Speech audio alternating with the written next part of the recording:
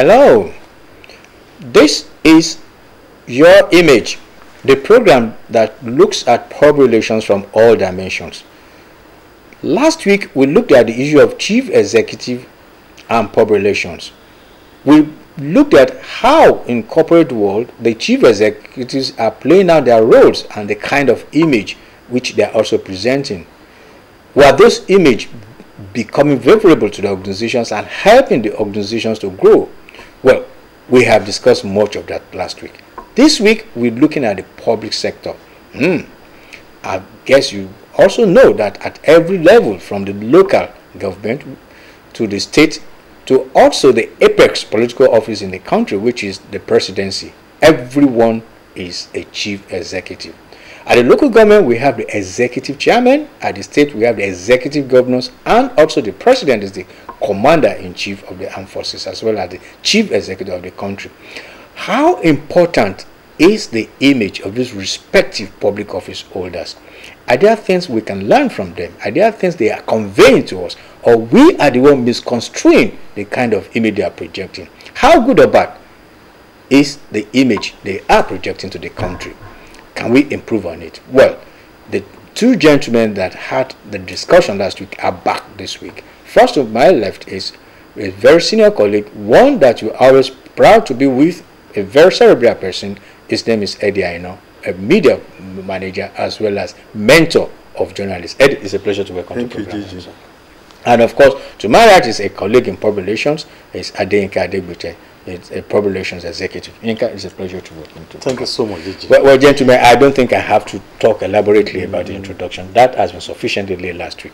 That again, we are looking at the public sector, and I'm sure we are all familiar with it. We keep abreast with it. So let me start with you, the senior colleague here. When you look at the public sector of Nigeria, especially the public offices, the highest that we have, starting from local to the state as well as to the to, to the office of the president. Do we have their image conveying a kind of communication to us, and how good is this image they've been conveying over the years? I think it's a mixed grill. If you study the trajectory, you know, of most of these public uh, offices that we have in the country, local government, state, and all, it's a mixed grill because some have projected very good image in terms of service delivery, in terms of respect for people, in terms of uh, following the laws, either of elections or of, of uh, uh, selecting individuals, you know, to recruiting, you know, either in recruitment process or whatever. Some of them have been good, although the number is almost negligible. If you ask Nigerians, generally, our perception of our leaders at the local government and state level, even up to federal level at times, is not very commendable. If you look at the common man because of service delivery and because of the way the our leaders you know carry themselves.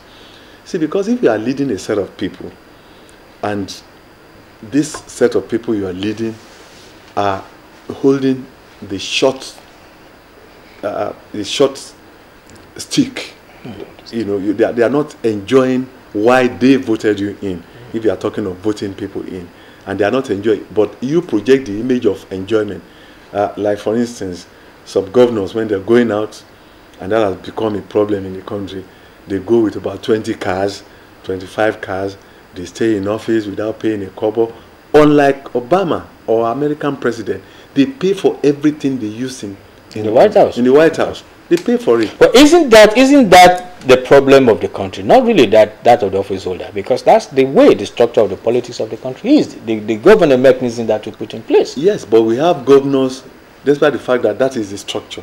And Obi, for instance, well, that was the image he projected. He, he, he was not in the habit of feeding people you know, with public money. He wasn't in the habit of, some people have visited you and you t- take money and give to them you know, for transportation or whatever.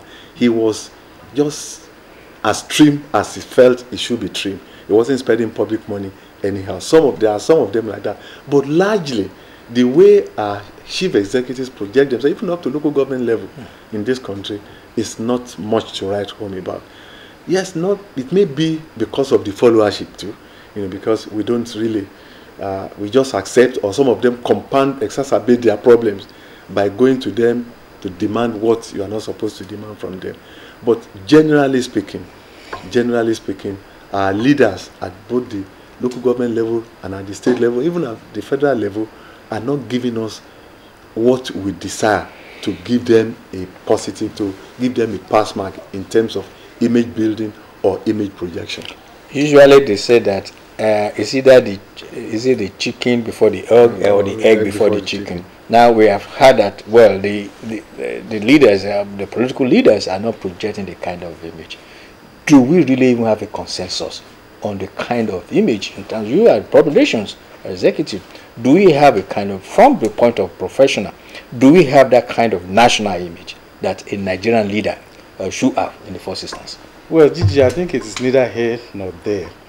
And uh, the issue of, uh, you know, whether our leaders are projecting the right image or not, um, could be could be could be subjected to varying degrees of, uh, uh, you know, um, assessment by people. Um, for me, I believe that it is an ongoing process, and even in um, you know developed democracies, you still have um, issues with projecting the right image, then you know they will put in place uh, measures to you know um, try to adjust the image you know, by taking concrete steps that will convince those who are observing them that uh, you know they are now turning a new leaf you know here there you know. But one thing we have to um, really really look at is that um, you know no entity can survive or even exist in isolation. Some people will say, for instance, that even if you bring an angel to administer Nigeria, mm. Nigeria will corrupt such a person. You know, the, the, the, the truth is that the people who lead us, they are not operating in isolation. They are also a product of the system that mm. threw them up but what can we say about that system?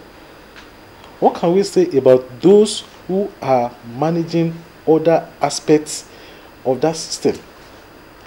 For instance, a government will come with a whole lot of laudable programs, but he cannot micromanage each of all these programs in a way that it will bring the desired benefits to the recipients of the program.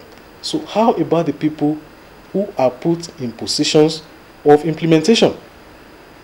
So the truth, we have to look at it in a holistic manner. So when you are looking at leader, you also, also look, look, at, the system and you look at followership in order for us to have a working system that will be of benefit to all stakeholders in the system. What Yinka did not actually say is that he's putting this in the context of culture. And when you look at it, uh, it's saying that first the, the leaders are also product of the environment, of society yeah. they are, which means that they, they must have they did grow up with some assimilated values uh, and norms which they there's so when you look at our culture is our culture enhancing of good image in public life or is is our culture also kind of taking away or are we the ones comparing our cultures differently from what it's supposed to be? Uh, or should we, can we really be an island uh, looking at best practices around the world and saying that this is our own culture and we should live with it? Uh, and I think, of course, that question should. I, I, th I, I think it's a generational thing, because if you look at the past governments in this country, you are looking at between. Let, let's take the military out of it but you are looking at 1960, 66, all, all over the country, you have leaders who give their best. They operated within this same culture we are talking about. But the culture we are, that these ones are operating in has turned the, has changed the entire system upside down. What are we talking about culture, the way of life of the people? What is the way of life of the average Nigerian, or especially take this uh, the southwest Omoluabi. because you are brought up to say, okay, act, don't do beyond, don't be, uh, uh, act beyond your capacity.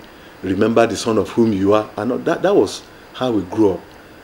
And that culture is still there. But the situation now, the contemporary situation is such that maybe because of the monetization thing, you know, money has come in largely and people now worship money. Maybe that's why we have this type of leaders that we have now. Because these are leaders, even their own perception, they look at, the, at themselves as beyond, you know, as being higher than the people who actually elected them, uh, elected them in. And that, that's a problem I think we have in terms of culture. Our culture ordinarily does not need to change, but is being changed by the circumstances of either money or new sets of people or new sets of uh, political culture. Because when you talk about culture, are we talking of, of, political culture? The internalization of the norms and values of society in an individual to make him function adequately in that society. That culture is still there. But I think what we have now are defiant leaders. That's the way I want to. I, I really, I, I think you, you just thrown up a spanner, spanner up with, uh, to have it uh, saying the characterization is deviant leadership. Of course, well, I, I think deviant leadership, in a way, also reflects the kind of frustration which yeah. is also going on in, in terms of the image that we see. But we do have people like you occupying professional positions. We do also have institutions like Nigeria Institute of Public Relations also working in the area of image. Now, let's limit it to those of you in public office and public life as well, mm. which also have, have jobs to do. You are employed to do certain job. Why is it difficult managing the image of most of the chief executives? Well, I think it's the combination of factors. Um, you know, largely the public relations as a profession is still evolving in, in this part of the world. Of course, there is a marked difference from the way that uh, you know the public relations used to be perceived as chief executive officers. In those days, you know, they are meant to be public relations officers are meant to be like four guys of uh, you know when the, the organization is feeling the backlash of a particular bad they do fire brigade job. They do fire brigade job they are called upon to you know clean up the mess. But uh, these days i must admit that uh, even the, the the the way that um, public relations officers are perceived today is reflected even in the structure of organizations themselves. Like in my own uh, organization the department is a full directorate and it is um, you know responsible directly to the office of the CEO. So the major policy trust, policy uh, direction, uh, you know, the, the the department is part of all those things, and so.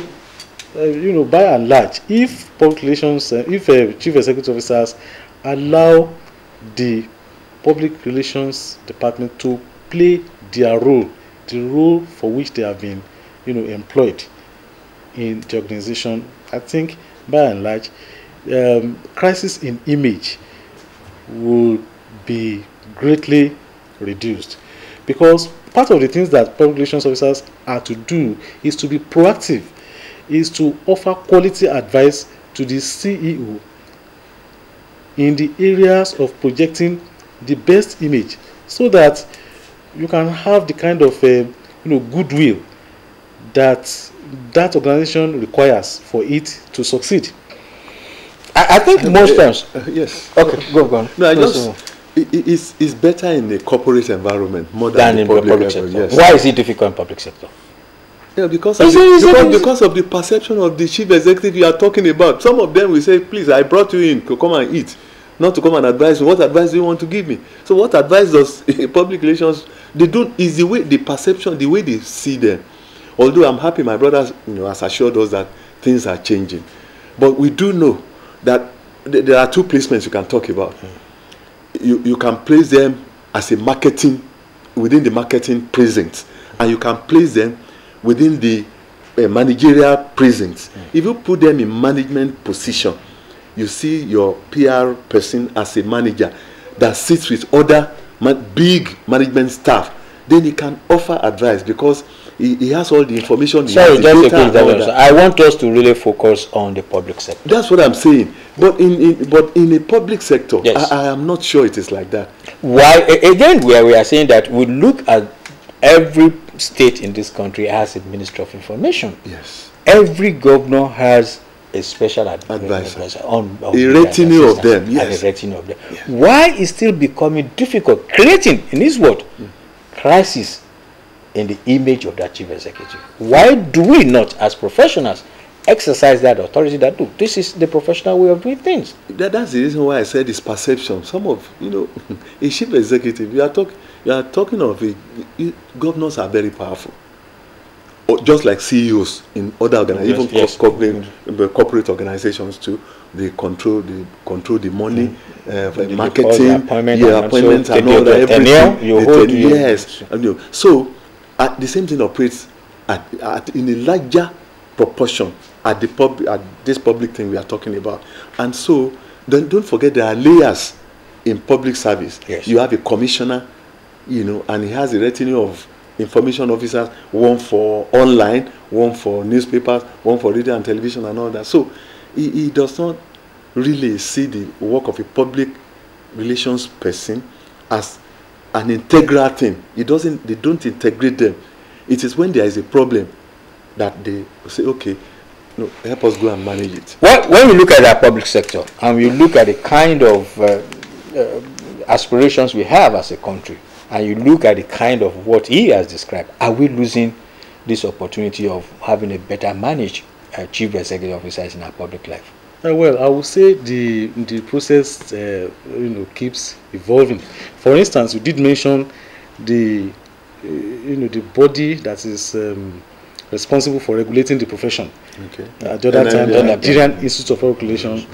What we did uh, in our own chapter, we can say chapter, uh, what we've been doing is to embark on an advocacy. We've been visiting um, organizations both in the private sector and the public sector, you know, sensitizing them to the need to put sound professionals, PR professionals, in, you know, in, to, to manage their image. That is what they have gone to school to learn. It is a it is a profession that uh, you know uh, they are practicing. If if, if you if uh, quacks, for instance, practice medicine, you pay the price in terms of uh, you know all kinds of diseases. If a non-trained person practices law, you pay the price in terms of uh, you know uh, dispensation of justice, adjudicating, and uh, and all that. So if you put the right people in the right position, they will serve you. That's one. Two, chief executive officers too still have you know more to do in appreciating the fact that this person has been engaged To do a to job. perform this function of creating a good image for the organization, for the local government, for the state government, for the country. And that is why you have people in that position. So, first, put professionals there, and two, allow them to do their job. Let them offer you quality advice and work on, on those, uh, you know, quality advice. Can I just okay quickly reverse this? Now, if if you by chance have a chief executive within the public sector, and we are talking about those who make policy, those also implement policies, those who those who take decisions affecting the lives of the people. If you have them opening up to what he has said, what are the uh, benefits we are likely to derive as a people? so i- as a i- if they allow the people to do to perform the function to manage to, their- man, to manage, manage even them. even manage their Their reputation. reputation. fantastic I, I think that is what we should that that maybe we need to enlighten the ceos of public organizations they- they Is it possible to get governors, the president, and yes. to bring them together for Yes, Nigerians e- to exactly, enlighten to enlighten Is them. it possible? Either we yes, or, or we take the struggle to their to Aso Rock and to the governor's offices because they need to be enlightened.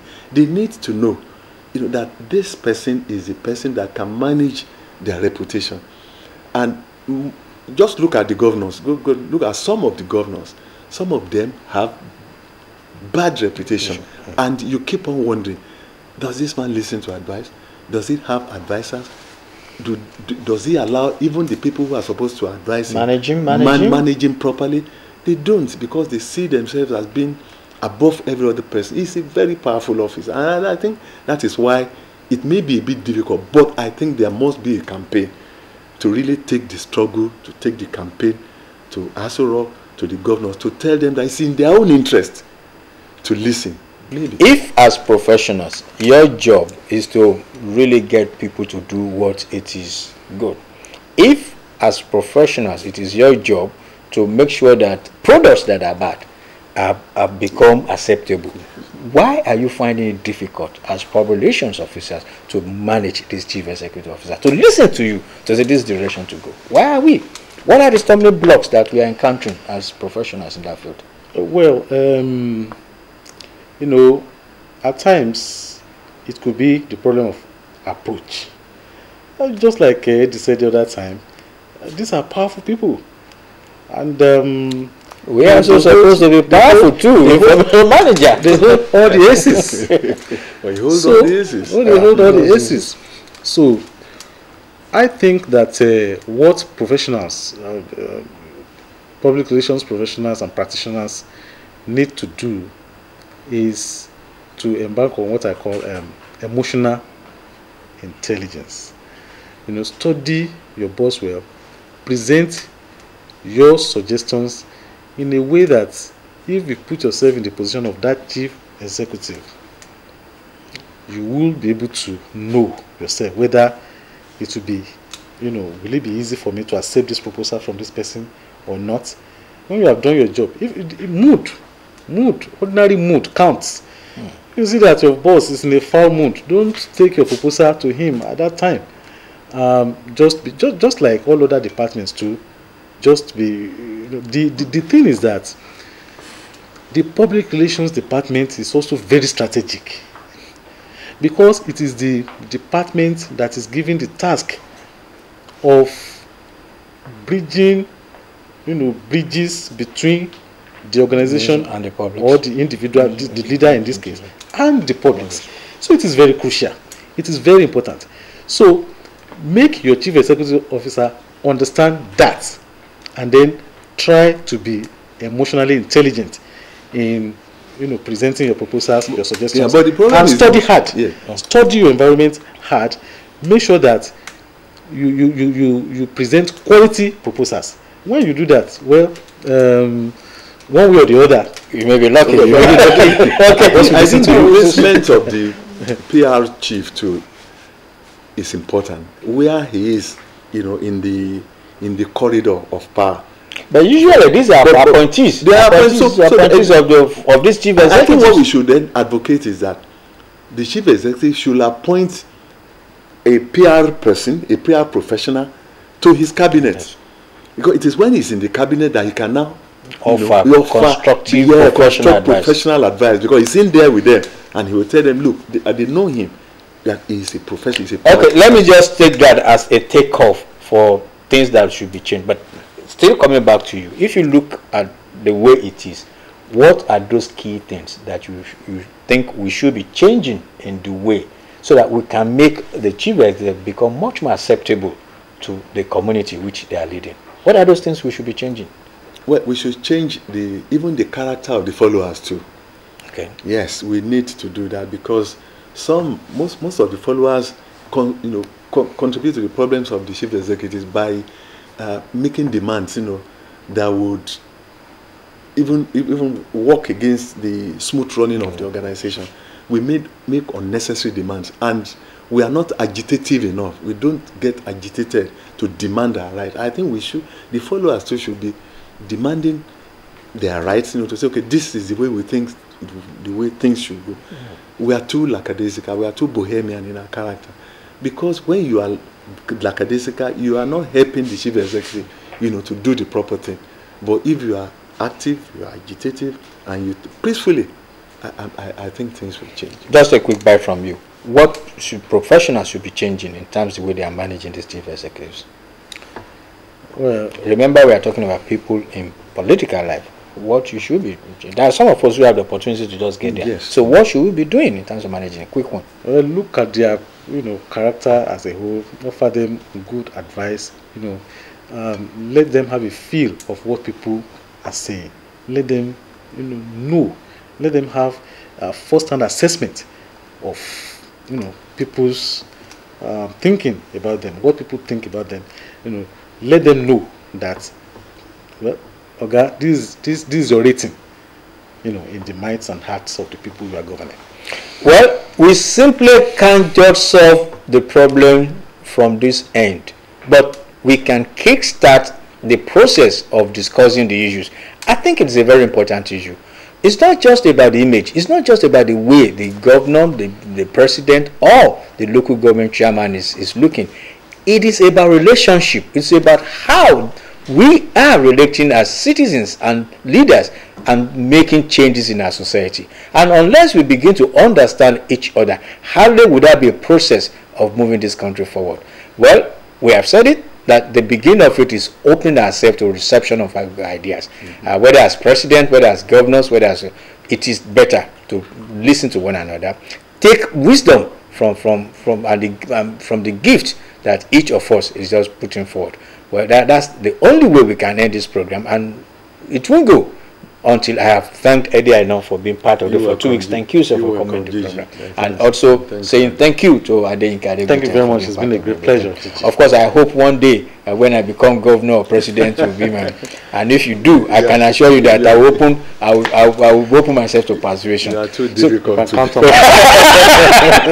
this is the way this, this will before I run into trouble. See you next week for another edition of the program.